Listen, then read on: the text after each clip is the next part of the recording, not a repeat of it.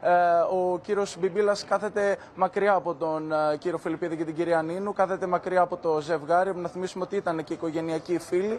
Ε, το κλίμα είναι κάπως παγωμένο. Υπάρχει η απόλυτη ησυχία μέσα στη δικαστική mm. αίθουσα.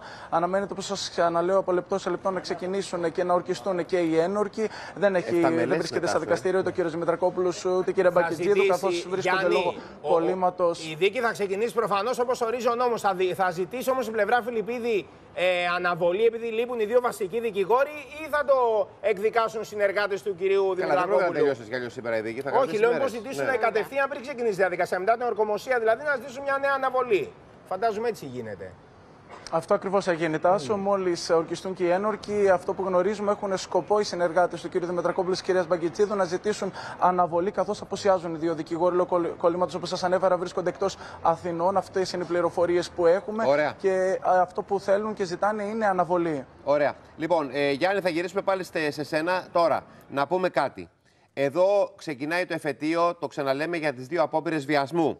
Η μία απόπειρα βιασμού έχει καταγγελθεί ότι έγινε το 2010 μέσα στο θέατρο Μουσούρι, όπου τότε έπαιζε και πρωταγωνιστούσε ο Πέτρος Φιλιππίδης και οι άλλοι, το 2 με 2 καταγγέλουσες έτσι, το 2014 στο ψυχικό, θυμάστε όπου είχε γυρίσει την καταγγέλουσα ο Πέτρος Φιλιππίδης και την είχε πάει σύμφωνα με τα καταγγελόμενα, δεν ξέρουμε αν είναι αλήθεια ή όχι, θα το μάθουμε στο εφετείο σε ένα ερημικό σημείο κτλ. Και, και, και αποπειράθηκε να τη βιάσει μέσα στο αυτοκίνητό του. Ακριβώς. Έτσι δεν είναι η φωτεινή. Πρώτη καταγγελία, η πρώτη λοιπόν... καταγγελία έγινε με ανοιχτές αισθήρε mm -hmm. στο δικαστήριο, άρα Ακριβώς, έχουμε την. Ακριβώς. Είχε μιλήσει η γυναίκα αυτή για τα όσα καταγγέλει. Μιλάμε για ένα περιστατικό λοιπόν το 2010 μέσα στο καμαρίνι του θεάτρου Μουσούρι. Είχαν κλείσει ένα ραντεβού να μιλήσουν για μια δουλειά. τότε της είχε ζητήσει να αντικαταστήσει μια ηθοποιό στην παράσταση ο Μπακαλόγα του. Είχε πάει λοιπόν η συγκεκριμένη γυναίκα στο καμαρίνι του Πετροφιλιππίδη να μιλήσουν γι' αυτό. Σύμφωνα με την ίδια, κλείδωσε το καμαρίνι του, της κατέβασε τα ρούχα και προχώρησε σε ασελγείς πράξεις. Αποπειράθηκε να τη βιάσει σύμφωνα με την ίδια. Έχει μιλήσει γι' αυτό μέσα στο δικαστήριο. Να δούμε τι ακριβώς έχει καταθέσει. Κατέβασε το κολάν μου και παρέσυρε μαζί και το εσωρουχό μου. Με φοβερή δύναμη μου άνοιξε τα πόδια και προσπάθησε να εισχωρήσει μέσα μου. Συνέχισε να κουνιέμαι ασταμάτητα. Κάποια στιγμή μετακίνησε το χέρι του για να πιάσει το γεννητικό του όργανο. Τότε κατάφερε να μετακινήσω το πόδι μου και να τον απαμακρύνω. Σηκώθηκα και κοπάνισα σε κάποιο έπιπλο που βρισκόταν δίπλα. Βρέθηκε πίσω μου και ένιωσε το γενετικό του όργανο να με ακουμπάει στο γυμνό μέρος του σώματός μου, στο μυρό περίπου. Διαπίστωσα ότι η πόρτα ήταν κλειδωμένη. Δεν μπορώ να περιγράψω τι ακριβώς αισθάνθηκα όταν το κατάλαβα. Άρχισε να φωνάζω δυνατά. Α! Αυτός ατάραχος και ξενερωμένος. Μη φωνάζεις τσάμπα, δεν είναι κανείς στο θέατρο, μου είπε. Έπιασα τσάντα και παλτό και άρχισα να κοπανάω την πόρτα με τα χέρια και τα γόνατά μου και μου φώναξε. Όσο εύκολα μπορώ να φτιάξω την καριέρα κάποιου, τόσο εύκολα μπορώ να την κρεμίσω.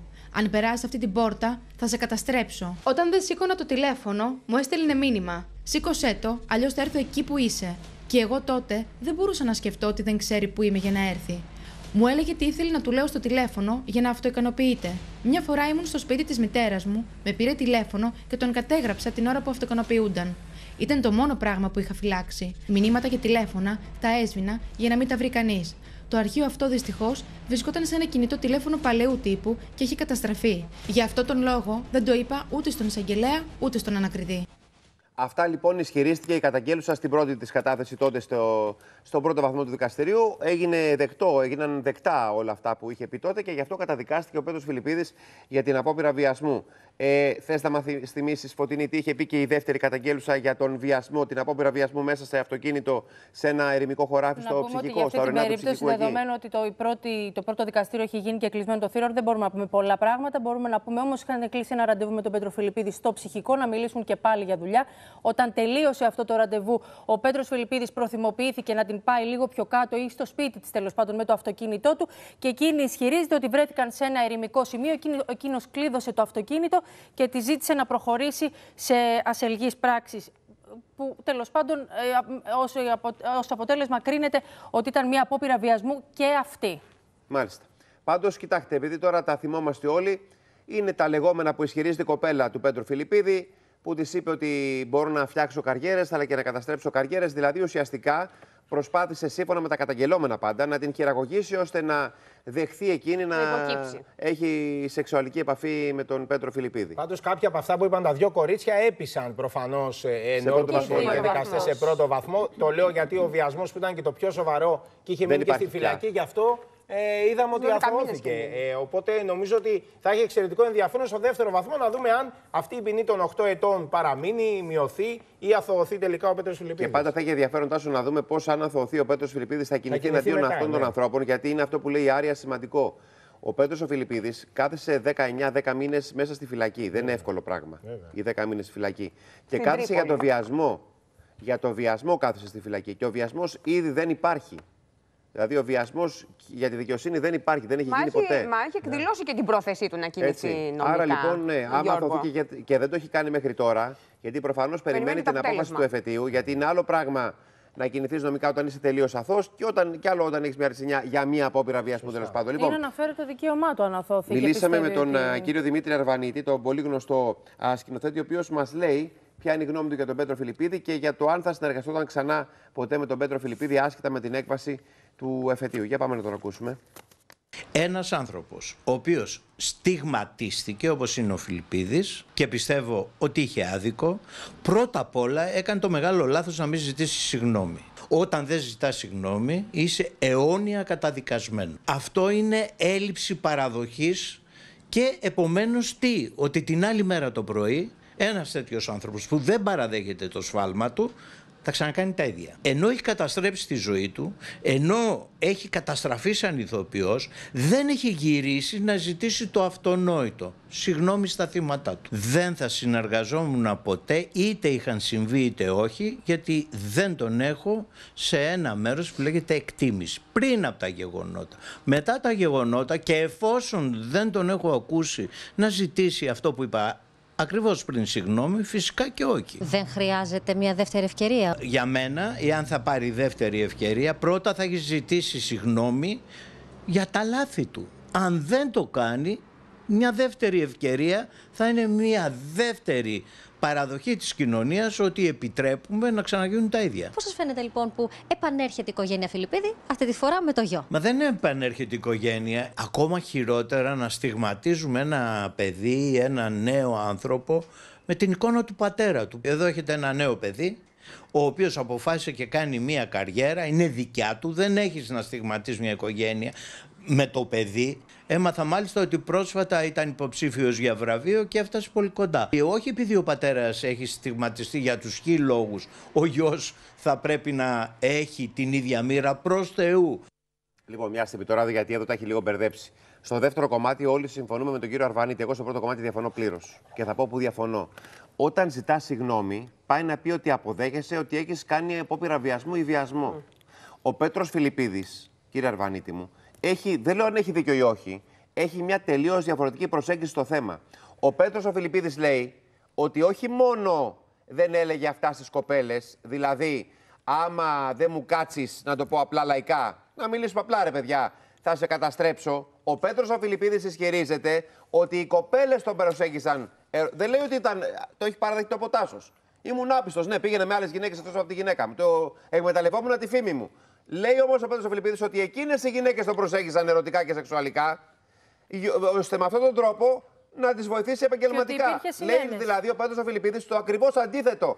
Ότι εκείνο είναι θέμα, θύμα, συγγνώμη, επίθεση σε εισαγωγικά κάποιων γυναικών που προσπαθούσαν με τα κάλλη τους στα γυναικεία τέλος πάντων κάνουν καριέρα. να κάνουν καριέρα. Αυτό λέει και ο τώρα Πέτρο τον Φιλιππίδης. εκδικούνται Δεν με ξέρω αν αυτή. έχει δίκιο ή όχι. Αυτό. Όμως, εάν πει συγγνώμη, είναι σαν να αποδέχεται ότι πήγε να Και του τι βιάσει. σημαίνει ότι είναι αιώνια καταδικασμένος. Όχι, άλλο θέλω να πω. Κα- Υπάρχει, Όπως, αυτό είναι το αναφέρει δεύτερο ο σκέλος. κύριος, ε, Εδώ όμως θα μπορούσε να έχει Αρβανίτης. δύο γραμμές ο Φιλιππίδης. Είναι παιδιά, συγγνώμη γιατί δεν το κατάλαβα, πίεσα ναι, ναι. λίγο παραπάνω. Δεν είμαι βιαστής όμως. Ή παιδιά, εκείνες που την έπεσαν για να βρουν δουλειά. Εγώ θύμα είμαι. Αυτό λέει ο Πέτρος Φιλιππίδης. Δεν ξέρω αν έχει δίκιο ή όχι, αλλά λέει ακριβώς το αντίθετο. Άρα, τι συγγνώμη να ζητήσει όταν ο ίδιος λέει ότι εκείνος είναι το Πιστεύω ότι είναι θύμα; αθώος, Το βέβαια. θέμα είναι τι θα κάνει αν κρυθεί ένοχος και Επίσης στο η, εφετείο. απιστία, επίσης η απιστία δεν είναι ούτε ηθικά ούτε, ποινικά κολάσιμη. Βέβαια. Την Αυτό είναι κατήνωση, μια Το άλλη Ανδρέας θέμα είναι τι θα Παπανδρέου. κάνει αν κρυθεί ένοχος στο εφετείο. Τότε θα αποδεχτεί ότι ενδεχομένως η συμπεριφορά του να παρεξηγήθηκε, να έκανε κάτι άλλο από αυτό που πίστευε ο ίδιος ότι κάνει. Όπως, ας πούμε, εμείς θα πρέπει να σεβαστούμε όλοι την απόφαση ενός δικαστηρίου. Εκείνος, αν κρυθεί ένοχος, τι θα κάνει μετά, θα, Θα τη ζητήσει σεβαστεί, συγγνώμη. αλλά δεν είναι υποχρεωμένος. Αυτός Δεν να θα το πιστεύει, ζητήσει αυτός συγγνώμη, γιατί πιστεύει είναι ότι παραδοχή. αθώος. Είναι Ο Πέτρος παραδοχή Φιλιππίδης ενοχής. πιστεύει ότι είναι αθώος. Κοίταξε να δεις. Ακόμα και να καταδικαστεί ο Πέτρος Φιλιππίδης, μέσα του θα θεωρεί ότι είναι αθώο. Και θα θεωρεί ότι έπεσε θύμα όλου του κύματος του Μητού. Πλεκτάνης, βέβαια. Του Μητού. Ότι αν δεν ήμασταν σε μια εποχή Μητού, δεν θα, υπήρξε, δεν θα υπήρχε καταδίκη. Αυτό θα πιστέψει ο Πάντως, Πέτρος αυτό που Φιλιππίδης. λέει ο κύριος Αρβανίτης, το οποίο είναι σε εισαγωγικά παράλογο, γιατί αν πει ο Φιλιππίδης, συγγνώμη, είναι σαν να λέει το έκανα, έχει και μια βάση. Δηλαδή ότι ο κόσμος πολύ πιο εύκολα θα αποδεχτεί την επιστροφή του Πέτρου Φιλιππίδη σε περίπτωση που ζητήσει συγγνώμη κάποια Πάντως, στιγμή. ε, ε, είπε και κάτι η Άρια Καλίβα. Είπε ότι είτε πεις, πας φυλακή, είτε δεν πας, είτε σου μείνει η ρετσίνια μιας καταδίκης, δεν είναι αιώνιο το έγκλημα. Δηλαδή το έγκλημα δεν, είναι, δεν το πας σε ένα καζάνι που βράζει και περιμένεις να πεθάνει από, τη, από το Το κάψιμο. δικαιικό μας σύστημα, Γιώργο, έχει σοφρονιστικό χαρακτήρα Εδώ μέχρι και και ο όχι Μπάμπης τιμωρητικό. Αναγνωστόπουλος, παιδιά. Με την Ο ίδια Μπάμπης λογική, Αναγνωστόπουλος σε να 15 χρόνια που επαναφέρουμε τα τσακωθήκαμε προχθές, βασανιστήρια τα θα είναι μεσαιωνικά, έξω. να επαναφέρουμε και τη θανατική ποινή, αν είναι να καταδικάζουμε έτσι, ε, Έτσι είναι. άνετα τους ανθρώπους. Όχι. Έχει σοφρονιστικό και όχι τιμωρητικό χαρακτήρα. Δες όμως τώρα τι γίνεται. Υπάρχει το νέο δικαστήριο, η νέα ιερά εξέταση που ακούει στο όνομα Instagram, Twitter, social media. Μια διαστρέβλωση του, του, μια όπου διαστρέβλωση εκεί- του μύτου Όπου εκεί δυστυχώς... από κάποιους που κρατάνε το λάβαρο του που φεμινισμού εκεί και έχουν δυστυχώς- κάψει και κόσμο. που Να τα εκεί λέμε όμως δυστυχώς- και αυτά. Που εκεί δυστυχώς, Άρια, είναι η- ο νέος τρόπος εκτέλεσης, δημόσιας εκτέλεσης και δημόσιου λιθοβολισμού ανθρώπων που ακόμα και η πιο σκληρή ποινή κάποια στιγμή ολοκληρώνεται. Βέβαια. Εκεί όμως ένας, ένα δημόσιο cancel δεν ολοκληρώνεται, δεν σταματάει ποτέ. Δηλαδή, μπορεί τα social media να καταστρέψουν ανθρώπους που δεν φταίνε ή που φταίνε λίγο και να τους καταστρέψουν μία και το για πάντα. λάβαρο του κακώς και για εννοούμενου μένα μυτού. αυτό το και θέμα το πρέπει λάβαρο κάποια του στιγμή... κακώς εννοούμενου μυτού, έτσι. Και για μένα κάποια στιγμή αυτό το θέμα φωτεινή πρέπει να ανοίξει. Το θέμα με τα social media και Προφανώς. το cancel και τα λοιπά. Δεν μαζί μπορεί να σου, υπάρχει συμφωνώ. cancel ανθρώπων και να Συμφωνώ καταστρέφουμε μαζί ανθρώπους. σου. Όχι Και να- υποκαθιστώντα. να διαστρεβλώνουμε Εδώ τον δεν ποινικό μιλάμε για κώδικα και να υποκατάσταση της καταργούμε δικαιοσύνης. καθένεια δικαίου. Εδώ μιλάμε για, μια, για ένα άλλο ε, δικαστικό κομμάτι το οποίο είναι πολύ πιο σκληρό. Και, και, επίσης Και να- χωρίς γνώσεις. Και να πω ότι και εκείνοι θα μπορούσαν αντίστοιχα να πάνε κάποιους ανθρώπους από αυτούς στα social media δικαστικά και νομικά. Γιατί γίνεται κα- κατά κρεούργηση. Δεν είναι φυσιολογικά. Λοιπόν, Πάμε τα τώρα να πράγματα ακούσουμε που τον κύριο συμβαίνουν. Ρωμανίδη, ο οποίος μίλησε στην εκπομπή μας, τον γνωστό ηθοποιό, ο οποίος έχει τελείως διαφορετική προσέγγιση. Λέει να Θέλει επιστρέψει. ενεργό τον Πέτρο και εγώ θα Φιλιππίδη. παίξω και μαζί του να επιστρέψει ο άνθρωπος. Σημασία έχει τι θα αποφασίσει η δικαιοσύνη και τι θα πει εκείνη. Είναι ένας καταξιωμένος ε, χρόνια ηθοποιός, θεασάρχης, σκηνοθέτης, τα πάντα. Ε, και κατ' εμέ, όπως και πολλοί άλλοι συνάδελφοι το έχουν πει, είναι λείπει, λείπει. Πώς θα το κάνουμε. Εγώ την τελευταία χρονιά που δούλεψα μαζί τους στο ψήλι στα αυτιά, κατάλαβα γιατί είναι αυτός που είναι. Όλα τα υπόλοιπα, είπαμε, θα αποφασίσει η δικαιοσύνη. Υπάρχει και ένα ρεπορτάζ που λέει ότι του έχει γίνει πρόταση, μία από τις πολλές προτάσεις που έχει δεχθεί, ε, να επιστρέψει ως καλλιτεχνικός διευθυντής σε νέο θέατρο. Το εκείνος το ξέρει, μακάρι, το λέω και το ξαναλέω. Α, εκείνος ξέρει τι θα ήθελε να κάνει, ε, αν θέλει έτσι και λίγο καιρό ακόμα για να καταλαγιάσει. Ε, αν είναι τόσο κακός άνθρωπος, ας τον τιμωρήσουμε, να είναι έξω από το θέατρο, να είναι σε ένα γραφείο μόνος του και να μην έρθει σε επαφή με άλλους ανθρώπους για να μην κάνει κακό. Εγώ ξέρω ότι τον θέλω ενεργό. Από εκεί και μετά ας γίνει ό,τι να είναι. Ο κάθε άνθρωπος ε, ξέρει αυτά που έχει ζήσει. Αυτό το δάχτυλο που μας κουνάνε, μας το κουνάνε συνέχεια όλο και περισσότερο. Δεν με πειράζει. Δεν θα φοβηθώ τώρα ε, όλους αυτούς που μου, με παίρνουν τηλέφωνο και μου λένε ντροπή σου για αυτά που λες κλπ. κλπ. Έχω άποψη, θα την πω. Σας Όπως παίρνουνε- τη λένε και όλοι αυτοί που βγαίνουν και οι οποίοι κάποιοι από αυτούς δεν θα έπρεπε καν να μιλάνε γιατί δεν έχουν άποψη. Σας παίρνουν άτομα από το χώρο. Φαντάζομαι ηθοποιοί συναδελφοί σας και σας λένε γιατί τα λέτε. Ναι, ναι. Θα ήθελες να ήσουν στη θέση τους ή οτιδήποτε κλπ. Δεν- Εννοείται ότι δεν θα ήθελα να ήμουν στη θέση τους αν ήταν αλήθεια, αλλά από εκεί και μετά, επειδή γε- έχω ζήσει κάποια πράγματα, ε, έχω αυτές τις απόψεις για τον Πέτρο. Αν α, αθωωθεί ο κύριος Φιλιππίδης ή αν αντίστοιχα ε, καταδικαστεί, πιστεύετε ότι θα έχει επίπτωση και στο Δημήτρη; Δεν νομίζω ότι πρέπει να έχει. Ο κάθε άνθρωπος είναι αυτοτελής ύπαρξη. Μιλάμε για ένα παιδί πολύ χαμηλών τόνων, με σέβας, με πολύ ωραία προσέγγιση. Ένα εξαιρετικό παιδί. Μάλιστα.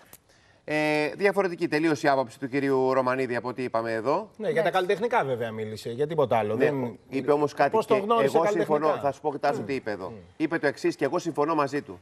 Ο Πέτρος ο Φιλιππίδης, που είναι μια εμβληματική α, φιγούρα στο θέατρο, την τηλεόραση και τον Βέβαια. κινηματογράφο, σπουδαίος και πολύ μεγάλος. Ο μεγαλύτερο όρο με τα παιδιά. υπογράφουμε όλοι αυτό. Λοιπόν, δεν μπορεί να κρυφτεί είτε αθωωθεί είτε καταδικαστεί πίσω από την ταμπέλα του καλλιτεχνικού διευθυντή ενός μικρού θεάτρου. Είναι λίγο και καλύτερα να κάτσει σπίτι του, καλύτερα να πουλάει ε, ντομάτες στη λαϊκή αγορά παρά να Γιατί πάει να να μην κρυφτεί εργαστεί, Γιώργο; πίσω.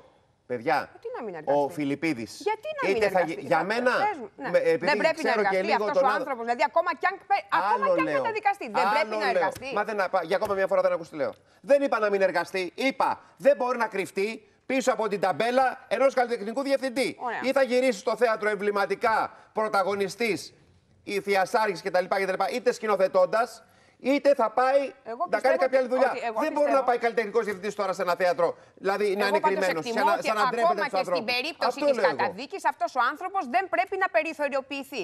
Γιατί έτσι φτάνουμε στις ε, περιπτώσεις και αν Άλλο καταδικαστεί. της ανακύκλωσης, της ανακύκλωσης αντικοινωνικών και παραβατικών Άρια μου, στοιχείων. άλλο Όλοι περιθωριοποίηση έχουν την δικαίωμα οποία δεν στη δεύτερη επικροτεί ευκαιρία. κανείς. Και άλλο να γυρίσεις αν είσαι και ένοχος δε σε, στην ε, δεξαμενή του, του που έγινε το κακό. Δηλαδή, έχουν πληγωθεί άνθρωποι. Θα έχουν πληγωθεί άνθρωποι αν κρυθεί ένοχος ο Πέτρος Φιλιππίδης. Μπορεί πολύ εύκολα να γυρίσει στο θέατρο. Αν επρόκειτο για ένα συγγενής σου, αν επρόκειτο για σένα, θα σου ήταν το ίδιο εύκολο να συναναστρέφεσαι Άκουσα με να σου πω αυτόν τον κάτι. άνθρωπο. Ηθικά μπορεί να πιστεύουμε ότι αυτός ο Άσε άνθρωπος το πρέπει ηθικά. να βράσει στα καζάνια Κα- της Βρε, κολάσεω Άρια μου, κανείς και δεν να είπε να βράσεις ξεψυχήσεις στα- τα ναι, έγκατα καλά. της γης. Κανείς δεν Από είπε να εκεί και βράσεις πέρα στα όμως, επειδή, καζάνια. επειδή ζούμε σε μία δημοκρατία, είπαμε ότι οι ποινές έχουν σοφρονιστικό και όχι τιμωρητικό Σε χαρακτήρα. ρωτάω κάτι, δεν θα μου πρέπει απαντάς. να εργαστεί. Σε δεν ρωτάω πρέπει να κάτι, δεν περιοθεωριοποιούνται μου ακόμα απαντάς. και οι πιο σκληροί Αν σου εγκληματίε. είχες Κάτσε Τι να την να ακούσεις, κάνουμε, Άρια, πού να κάτσε, τους κάτσε να πάμε. ακούσεις το Σου και την είχες ποινή. στην αλόγκα. Κάτσε, βρε, Αν Άρια, σου να είχες ακούσουμε. συμβεί εσένα κάτι αντίστοιχο, θα μπορούσες να έρχεσαι εδώ και να βλέπεις αυτόν τον άνθρωπο να κινείται στο χώρο σου μέσα; Δεν πιστεύω στην περιθωριοποίηση Δεν και, να- στη, δεν μου και απαντάς, στην θα μπορούσες να το ανακύκλωση βλέπεις. Υπάρχει και ένα- στην υπάρχει ένα ανακύκλωση πρακτικό αντικοινωνικών κομμάτι. και παραβατικών. Πάντως και αυτό Όλοι που λέει η έχουν Φωτεινή μια- έχει ένα δίκιο τώρα. Όλοι, έχουν, όλοι δικαιούνται μια δεύτερη Έλα, ευκαιρία, Τάσο. ακόμα Να και πω πιο σκληρός κάτι κακοποιός. για να μην τσακώνεστε και να πέσουν λίγο οι τόνοι. Εάν καταδικαστεί αυτός ο άνθρωπος για εγκλήματα που έχει κάνει στον χώρο του θεάτρου, δεν θα ξαναγυρίσει ποτέ στο θέατρο. Δεν το θα το ξέρεις προβλέπει αυτό. και η απόφαση αυτό. ξε- Α, δεν το Σας ξέρω το λέω αυτό. γιατί Εντάξει. έχω ξαναδεί τέτοιες δίκες. Ένας που κάνει εγκλήματα σε συγκεκριμένο επαγγελματικό Ούτε χώρο. καν ως- ως βγαίνει καλλιτεχνικός απόφαση διευθυντής να Ωραία, θεάτρου. μην τότε πρέπει, είναι στο τότε, χώρο. τότε πρέπει Σας να θυμίζω- σεβαστεί, να σεβαστεί και σας εκείνος τον νόμο. θυμίζω, Εντός νόμου για να ζούμε. το Δεν μπορούμε να τεκμηριώσω. παραβαίνουμε τους Σας νόμους. θυμίζω τον άλλο σκηνοθέτη που δικάζεται, ο οποίος πριν γίνει δίκη, Απομακρύνθηκε από την απομακρύνθηκε από το εργασία χώρο του. Ναι. εργασία γιατί είχε ένα τέτοιο είδους αδίκημα. Άρα μην τσακώνεστε για κάτι το οποίο θα πρέπει να το δούμε όταν έρθει η Από ώρα. την άλλη, Συμφωνώ να και μην εγώ. αφήνουμε υπονοούμενα. Ούτε είπε κανείς να καεί στα καζάνια της κολάσεω ο Χ. Φιλιππίδης, ούτε είπε κανείς να μην ξαναδουλέψει ο Ωραία, Φυσικά, Φιλιππίδης. πάμε μπορεί να όλοι να το ακούσουμε την πιστεύουν κυρία αυτό. Βογιατζάκη που και η δική της άποψη είναι περίπτωση ενδιαφέρουσα καταδίκης. και έτσι χρήζει σχολείου νομίζω. Για να την ακούσουμε. Έχει δεχτεί πάρα πολλές προτάσεις, όχι μόνο για να παίξει σε παράσταση, σε κάποιο έργο, αλλά και να σκηνοθετήσει. Εσάς αυτό πώ σας βρίσκει. Εγώ, παιδιά, με, τις, ε, με τη στάση μου ήδη έχω απαντήσει σε όλο αυτό. Το μόνο που έχω να πω είναι ότι πολύ καλά θα κάνει. Καλή επιτυχία στο γιο του που είναι. Καλή επιτυχία και ε, θέλω να πω ότι οι είναι άνθρωποι, πολύ ταλαντούχο με- παιδί. άνθρωποι καλλιτεχνικά σπουδαίοι δεν είναι, π- πρέπει να δουλεύουν. Ενώ και δεν μπορείς να κρίνεις έναν άνθρωπο, μια ολόκληρη προσωπικότητα, μια ολόκληρη ζωή, μια, ε, από μία στιγμή. Ο κ. Σαρβανίτη είπε πως εφόσον δεν έχει ζητήσει δημόσια συγγνώμη, δεν του επιτρέπεται να, ξανά, να πάρει μια δεύτερη ευκαιρία. Δεν έχει πάει υπόθεση, δεν έχει δικαστεί, έχει αθωωθεί το πρώτο. Οκ. Τι, να ζητεί, τι, ενώ δεν την έχει αναλάβει η δικαιοσύνη την υπόθεση. Οκ. Ναι, ο καθένας μπορεί να λέει ό,τι θέλει. Εμένα δεν θα πω ότι. Ναι, μωρέ, δεν θα... τώρα μην μπαίνουμε και σε αυτό. Ναι, δεν Αυτός θα είπε κρίνω τώρα τη εκείνο, εγώ γνώμη του είπα κ. τ' άλλο. Αρβανίτη. Εγώ σας είπα την άποψή μου. Μάλιστα, κοιτάξτε, ε, έχει λίγο λάθος εδώ, έχει πολύ λάθος η Σοφία. Συμφωνώ με αυτά που λέει, τα περισσότερα όμως αυτό που λέει δεν μπορεί να καταδικαστεί για, για μια στιγμή. Αν αυτή η στιγμή είναι βιασμός ή απόπειρα βιασμού, Μπορείς. δεν υπάρχει βιασμός. Απόπειρα βιασμού εδώ. Αν αυτή η στιγμή είναι απόπειρα βιασμού, θα καταδικαστεί ο άνθρωπος. Και ο Τακλέβης, μια στιγμή είναι και ο αν Τακλέβης. το δικαστήριο, ε, η στιγμή αυτή είναι απόπειρα βιασμού και το δικαστήριο πάρει τη θέση των φερωμένων θυμάτων και όχι του Πέτρου Φιλιππίδη, ότι του την έπεσαν για να βρουν δουλειά, αλλά ότι τους την έπεσε έχοντας εξουσία, γιατί αυτή είναι. Ή του την έπεσαν παιδιά για να βρουν δουλειά, να τα πούμε λαϊκά τα πράγματα, Το ή οποίο του την είναι έπεσαν τα κτηνώδες. κορίτσια για να βρουν δουλειά, Κτηνώδες. που λέει ο Φιλιππίδης, ή τους την έπεσε έχοντας εξουσία για να, για να κάνουν σεξ τέλος πάντων. Και Αισθα- δεχόμαστε τα, αισθάνομαι- ε, ένα από τα δύο είναι. Δεν μπορεί να είναι και τα δύο μαζί. Η Σοφία Βογιατζάκη πραγματικά αισθάνομαι είναι πάρα πολύ συμπαθής από τις πολύ αγαπημένες μου ηθοποιούς. Αισθάνομαι ότι έχει μια πολύ συγκεκριμένη άποψη για το μύτου και για αυτά τα θέματα γενικότερα, που, που, που κινείται βάσει αυτής της άποψης. Δεν της της τα έχει βάλει όλα στο ίδιο καζάνι και πορεύεται με αυτό. Τι θα πει μια στιγμή, αν έχει αποπειραθεί να βιάσει μία γυναίκα, δύο γυναίκες, ε, έχουμε άλλα τόσα περιστατικά τα οποία δεν έφτασαν ποτέ στο δικαστήριο για συμπεριφορές κτλ. Συμφωνεί με όλα αυτά, δεν έχω καταλάβει Εγώ πάντως πραγματικά. Δεν Τώρα είμαι να τα ούτε με κρίνουμε το και τα μητού, περιστατικά που ούτε δεν έφτασαν εναντίον του ποτέ στο μητού. δικαστήριο. Εγώ είμαι με τη λογική, τη δικαιοσύνη και την αλήθεια. Βέβαια. εγώ το Εγώ ίδιο. έτσι Και λειτουργώ. πρωτόδικα οι δύο στιγμές οι κακές του Πέτρου Και Φιλιππίδη σεβόμαστε τιμωρήθηκαν τους με νόμους, 8 Αυτή χρόνια είναι η Απλά αλήθεια φυλάκιση. δεν μέχρι μπορούμε στιγμής. να Λοιπόν, λέμε κακή στιγμή. Πάμε βάζω σε εισαγωγικά. διαφημίσεις, θα επανέλθουμε γιατί έχουμε πάρα, πάρα πολλά θέματα να πραγματευτούμε μετά και εννοείται ότι όταν υπάρχει εξέλιξη θα συνδεθούμε και πάλι με το δικαστήριο. Πάμε